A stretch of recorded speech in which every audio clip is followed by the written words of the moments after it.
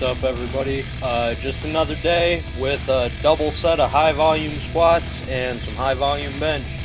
Um, everything felt smooth today. Everything I felt powerful, felt uh, full, felt strong, all that good stuff. Uh, form felt on point for squats. Well, there's a text message. Um, the form felt on point for squats. I'm right at parallel, if not below. Like I, I it always seems like I'm, I could be high or not, but it's just the way I squat because I allow so much forward knee travel because of the whole meniscus issue. But I should be good. Hit 405 for five sets of three.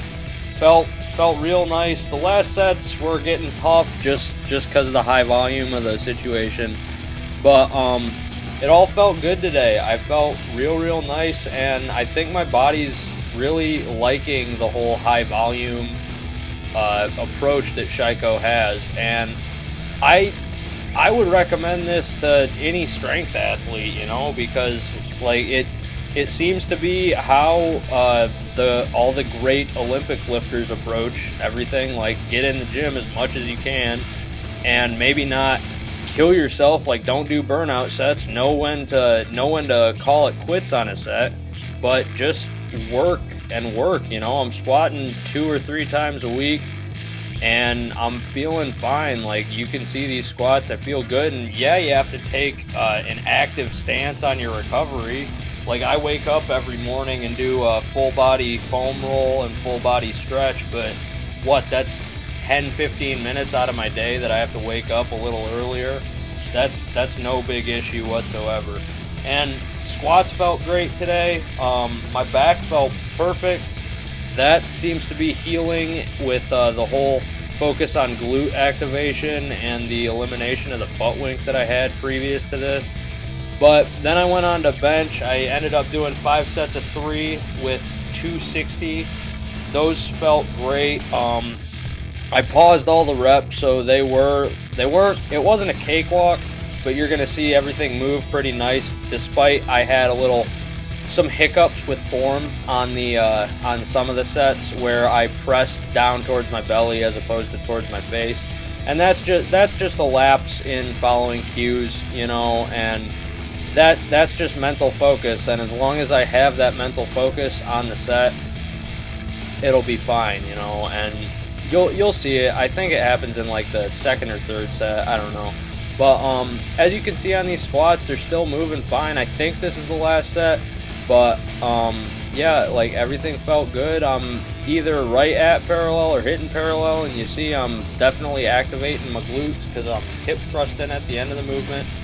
And I've begun to only do like the competition setup with a bunch of leg drive on bench when I'm at my top set, like all the all the other sets, I do uh, more flat back and uh, like legs further out in front of me, just because it's more comfortable for my back. And I I figured if I get my upper body stronger without the arch and without leg drive, then once I incorporate that, I'll be even stronger. You know, so as you can see, I'm tucking nice, pausing nice, and uh, I think it's on this set that I press towards my belly, but I'm not sure. You'll, eh, sorta.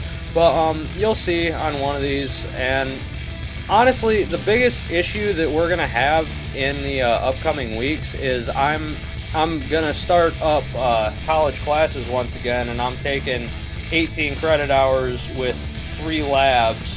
So even without my normal situation, that'd be pretty tough to handle. But on top of that, I'm to be working just under full time in order to uh, pay for college, you know, because that's that's the situation I'm in. I, I gotta gotta make money so I can continue to go to school, you know, and it's the big the big test that I'm gonna face in the future or in like next week, honestly, is uh, being able to finish these workouts in a respectable amount or in a manageable amount of time.